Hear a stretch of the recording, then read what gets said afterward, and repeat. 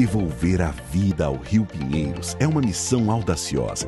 O projeto Novo Rio Pinheiros é um grande desafio assumido pelo governo do estado de São Paulo, ao qual o pomar urbano e a proposta do Parque Novo Rio Pinheiros estão totalmente integrados.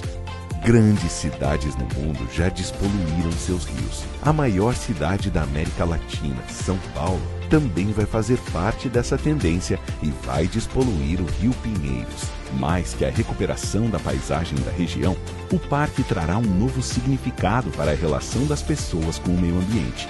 Esse projeto é uma declaração de amor a São Paulo.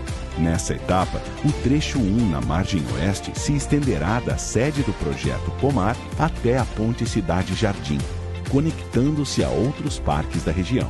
Com acesso público e gratuito, todo o trajeto com uma nova ciclovia e pista de caminhada. O Hub Global oferecerá aos usuários serviços de café, aluguel e manutenção de bikes,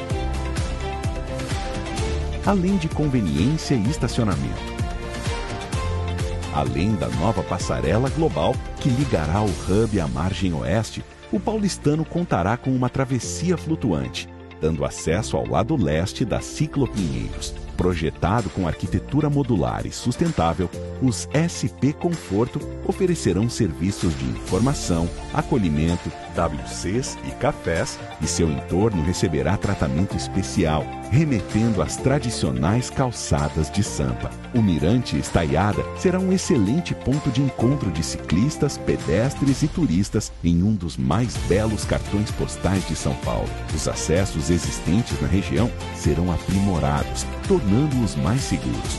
O Master Plan prima pela sustentabilidade.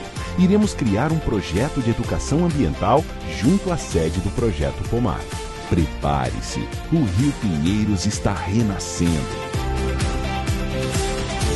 Parque Novo Rio Pinheiros